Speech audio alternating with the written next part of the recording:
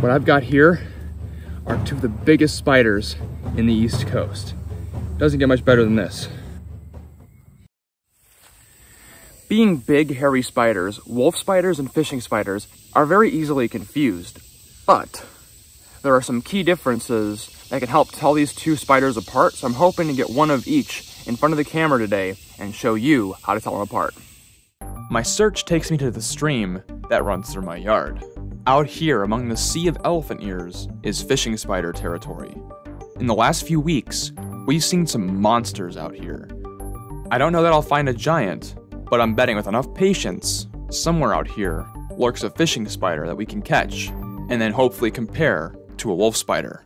Now, it's a little bit later in the year than I usually find big, massive fishing spiders. The video you saw last week um, was actually filmed a little bit in advance, but I think I can probably find a decent sized fishing spider out here. Fishing spiders are typically ambush predators. They'll sit on leaves of elephant ears or on the surface of the water, waiting for vibrations of fallen insects or even fish underneath the surface. Once they get a vibration, super accurate sensory hairs in their legs can tell them what direction and how far the disturbance is. The spider can then skate over to the disturbance and potentially claim a meal. Out here in the creek, searching diligently on elephant ears and near population centers of the mosquito fish that call this stream home, will likely yield a nice fishing spider catch. Right there, you can kind of see him. It's not the biggest spider I've ever seen, but it's a decent sized fishing spider. I can see her better from this angle. She's underneath, he's right here underneath this really beat up leaf. Now the best way to catch a fishing spider when on a leaf like this you want to have your jar open. What you're going to do is you're going to come from above with the main part of the jar and then clasp from underneath with the lid. You'll have them encapsulated in the jar. I'm talking too loud. All right. We're going to change our approach. Oh, he jumped. Oh, wait, there's an even bigger one here. What am I doing? Right there. That's even better. I think it's a female. Might be the grabbing actually.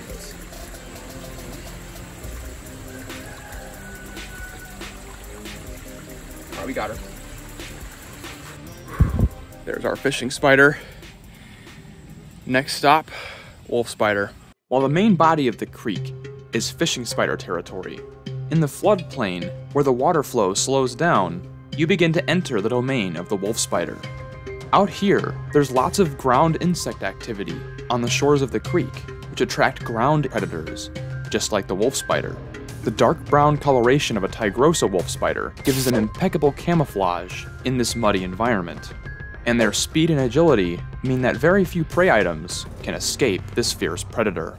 My hope is to find one of these tigrosas, since they're one of the biggest wolf spiders that I can find here in central North Carolina.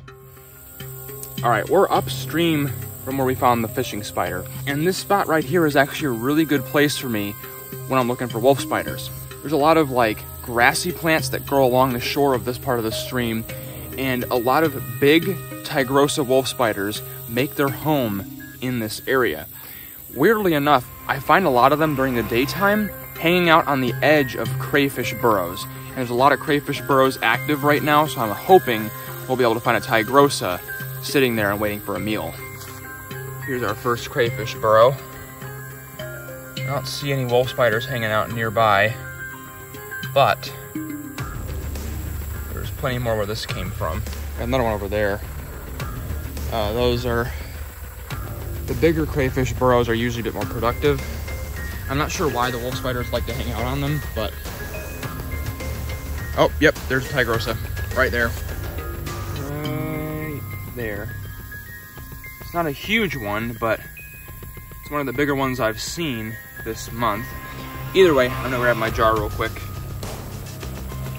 All right, now the trick with a spider this size, he's very much too small to pick up with your bare hands. What you wanna do, I'm gonna kind of set the place you want him to go down in front of him and sort of startle him Oh, he's going around. Oh, go in the burrow. Not go in the burrow. Hmm. There he goes. Well, we got our fishing spider, we've got our wolf spider. Now it's time to get them both up close for the cameras, and I'll show you how to tell them apart. What I've got here are two of the biggest spiders in the East Coast. Doesn't get much better than this. Now, neither of these two spiders are fully grown, but the size difference here is about what you'd expect to see in fully grown adults. On my left here, your right, I have a Tigrosa wolf spider. And on my right, your left, I have a spotted fishing spider. These guys are two huge brown hairy spiders and they're really easily confused. Big spider, big things. Usually most people don't stick around long enough to see if it's a wolf spider or a fishing spider. They tend to just squish it and move on. So the wolf spider is gonna have shorter, stockier legs, packed with muscle, and really, really big eyes in the front of its face. That's because where it lives in the forest floor environment, it's an active hunter that uses its speed and eyesight to hunt down prey. Whereas the fishing spider is gonna have really long legs for its body. That's because it's using those to distribute its mass over a large area so that it can really skim and float on top of the water using surface tension to its advantage. If you're brave enough to get close enough to these guys' faces, the key, key difference that you're gonna really see is in the face. Your wolf spider is gonna have two big eyes in the center, and the rest of its eyes are gonna be kind of centralized still because its vision is gonna be looking forward and around. Whereas the fishing spider, which doesn't use its vision quite as much, is gonna have smaller eyes, and they're gonna be spread all over so that it can kind of, it kind of scan around for prey. Fishing spider is gonna use more of its sense of touch though, so it's gonna use those really long legs with lots of sensory hairs to pick up vibrations in the water or the surface that it's sitting on. Now, I'm sure you're wondering, if these two spiders were to fight, who would win? And honestly, I couldn't justify putting versus in the title if I didn't at least address that question. As it stands, these two spiders here are roughly the same size. Due to the wolf spider's speed, in a duel between any two spiders of the same size, the wolf spider will always win. It's just too quick and too packed with muscle and would be able to overpower the fishing spider with absolutely no contest. This outcome changes if we're talking about fully grown individuals. At their maximum size, a spotted fishing spider like this can max out between 4 to 5 inches in leg span. At that point, while a fully grown wolf spider would still be much faster than the fishing spider, the fishing spider's legs serve as an early warning system. Those sensory hairs would pick up the wolf spider coming before it was in striking range. And even if the wolf spider was able to get first blood, it would likely only be able to bite one of the legs. Since spiders are known to throw off legs once they're compromised, what would likely happen is the fishing spider would shed the compromised leg that the wolf spider attacked and counter with a pounce of its own, driving those massive fangs into the wolf spider's body. And while their venom is no threat to a human, once it's inside a small invertebrate like a wolf spider, the end is near. Now, it wouldn't be very nice to actually test that theory and have these two spiders fight, so I'm going to go ahead and release these guys back into their respective environments. I hope this video helped you learn the difference in how to identify a wolf spider versus a fishing spider, and I hope this gave you a little bit of insight into which one of these animals would win if they were to duel in the wild.